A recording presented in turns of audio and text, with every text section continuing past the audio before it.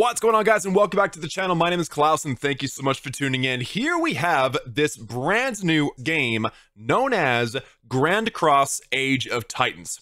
Now, I do want to mention that I've played a Grand Cross in the past called Grand Cross W.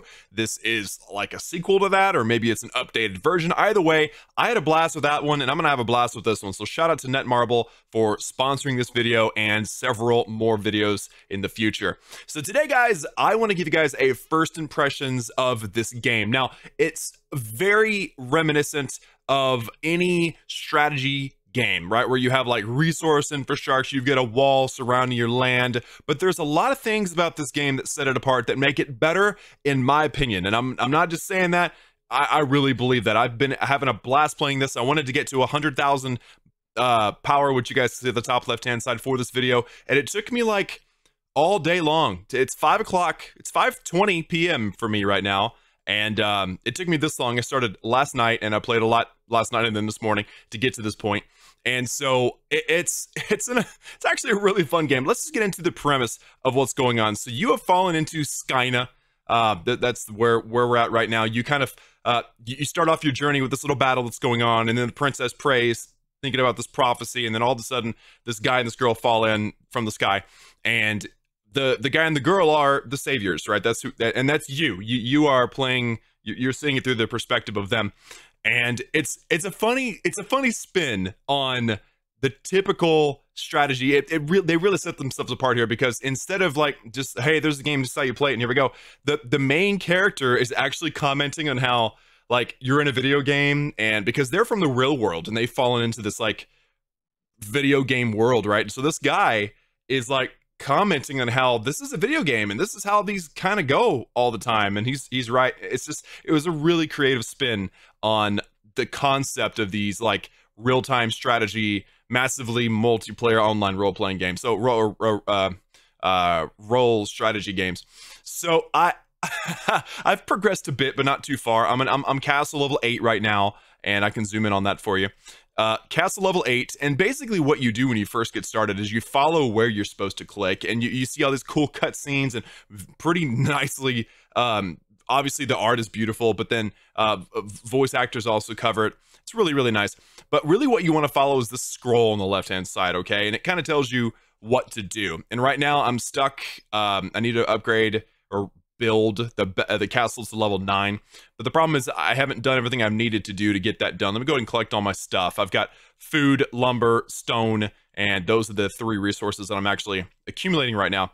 Now one uh, several really important things in this game that you want to notice is the artisan's house which kind of it's like your builders like you, you can build so many or upgrade so many buildings at once. You can hit this hammer button on the artisan's house and it shows you like okay i've got a builder that's doing something. I can speed it up if i've got the speed up switch. I don't because i've used them up. The game is really good by the way at giving you stuff uh, so that you can progress really quickly at the beginning anyway. And then uh, the other builder's not doing anything. So if i hit build uh, it says upgrade operation command but for some reason i'm missing one of the resources. Whatever this thing is. What is this? Oath I need some oaths. I haven't got myself enough oaths to upgrade this operation command. But it's kind of a good way to keep track of if you're actually doing something in, on your base to progress. So I am, I'm really disappointed. Oh, okay. I, I could have sworn I wasn't able to upgrade this castle. Hold on. Can I actually, ooh, I just did. I just built it. Nice. Cool. So tomorrow morning, I will be at castle level nine. That's amazing. By the way, I just clicked that little like hand to hand button. So now my my clan mates, which I did join a random clan or alliance, um, they can help me out. So that's pretty awesome. So now I've got an eight minute or eight hour and 30 minute upgrade to go. And you can actually make those upgrades shorter through what is the other really, there's lots of important buildings in this. The other important is the academy, which is basically like your laboratory where you go and you upgrade your stuff. And it's like your tech tree. It makes you faster or more efficient or whatever, makes your troops stronger, etc. There's other things like the hospital. Whenever you go fight, you can recover your stuff. Here is the Combat Engineer Workshop, which, by the way, we should probably be training these guys. This is basically catapults or uh, they say wooden cart. I'm assuming the higher level stuff is probably like catapults, but I'm going to go ahead and train some of them. Let's train some uh, cavalry as well. I'm going to do the upper level ones as, uh, because I've just unlocked them. And I'm also going to unlock or upgrade or train, whatever, the crossbowmen. And I would also do regular infantry, but that thing's upgrading for the next 13 minutes. So that's cool. So the total army I have is over here on this like army camps thing where you can go and you can look and see how many of each troop you have. And honestly, I don't know if there's a maximum number or not. There's a total capacity for the hospital, which is nearly 60,000 right now for me, but I don't know if there's like a maximum capacity for my troops. Uh, I'm sure the game will let me know if um, if I reach that. There's, there's other like cool little things, but really the most important thing, besides what I've already mentioned, the two most important things is the Titan, which unfortunately my Titan that I've gotten, whose whose name is uh, Esther, I believe. This is Esther. He is he's damaged because I'm I'm following along with the story, and so I'm trying to recover. Actually, he's on the other side of this wall. Yeah, there he is, right there. So he he he took a beating in the last battle that we were in. Uh, so that's really important because you do want the Titan. He does a lot of damage in fights. And then the last thing is the star fragment, which is where you do your summoning. So if I click this little scroll button, it'll allow me to do some summoning. So I'm going to summon one normal summon just to see what's going to go on. And I'm going to go and just skip that because it takes a long time. And I got some of these little stars, which allow me to upgrade my heroes. That's awesome. And then I've got this advanced summon. I got lots of these, by the way. Probably going to do a summoning video at one point. But I'm going to summon one of these advanced summons.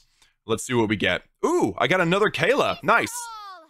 Hey, she made a noise. By the way, there's normally music, but I found that the music was kind of repetitive, so I've silenced the music myself, but you can easily turn it on on your own. All right, so I'm going to confirm that. I got another Kayla, which I think is good for progressing her. She's my probably my second best hero, and I got a bunch of horsemen, so that's amazing because I use horsemen like crazy. So there's also this one, but you have to spend gems, but it gives you a really good chance of getting higher level summons. So the last thing I want to really show you guys, besides bouncing out out of the world, is the heroes. So Valkyrie is my main hero right now with a power of 3,700. Um, Kayla is my next strongest with 3,300. She's level 17.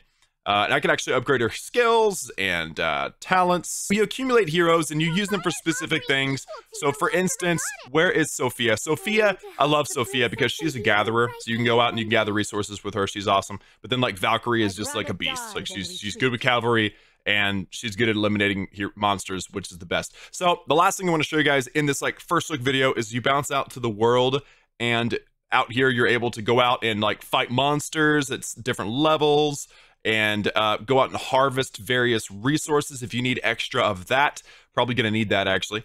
And it's really easy to find what you need. Just hit the little uh, magnifying glass and you can tell them what you want. I've got gold mine selected, but let's say I want cropland. And I've been trying to do level three, but apparently that's not nearby. So I'm just going to stick with level two. Uh, and then I'm going to send my girl. Yeah, that's her right there. Carrying capacity 114,000. If I use cavalry, it's a lot more but I like to fight with cavalry, so I usually use the wooden carts for going and gathering resources. So they're going to go do that, and then I could go fight. And there's a lot of stuff with alliances, a lot of stuff with with battles, uh, but I'm just now getting into it, so I don't really know enough just yet. But my first impression of the game is largely positive. I mean, like even things that normally annoy me with new mobile games that I've never played before, I'm genuinely not having the same problem here. So uh, shout out to Netmarble for making an amazing game. It's it's really beautiful. Like I said, the art's really nice, and I've had a, a good time progressing.